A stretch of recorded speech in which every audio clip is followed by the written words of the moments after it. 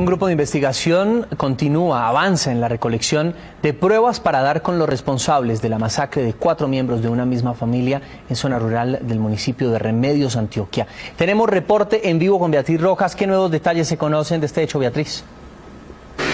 José Fernando Televidentes, buenas noches. Pues lo que han dicho las autoridades es que un grupo de la SIGIN, como usted bien lo contaba, se encuentra adelantando toda la investigación para determinar lo ocurrido. Un consejo de seguridad eh, durante toda la tarde adelantaron las autoridades del municipio de Remedios y también del departamento de Antioquia para establecer lo ocurrido en zona rural conocida como Pueblo Nuevo. Esto queda a tres horas del casco urbano en la vía que conduce al municipio de Yondó. Allí integrantes armados, al parecer de un grupo delincuencial, llegaron hasta una casa y asesinaron a cuatro miembros de una misma familia, un hombre de 72 y su hijo, asesinados dentro de la casa y más adelante a un kilómetro encontraron los cuerpos de un sobrino y de un yerno de 18 y 19 años de edad. Las autoridades investigan cuáles son los móviles de este homicidio.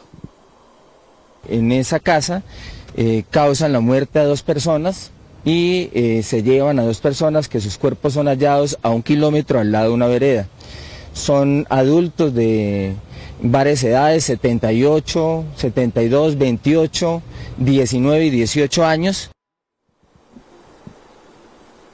Dicen las autoridades que se encuentran adelantando la investigación con tres vecinos de la zona quienes aseguran que hay problemas dentro de las familias que habitan eh, esta zona rural. Esa es una de las hipótesis que se maneja, sin embargo, sigue la investigación para determinar quiénes son los móviles y cuáles fueron los motivos que llevaron a esta masacre de cuatro personas en el nordeste del departamento antioqueño. Beatriz Rojas, Noticias Caracol. Estamos atentos al desarrollo de la investigación. Beatriz, gracias.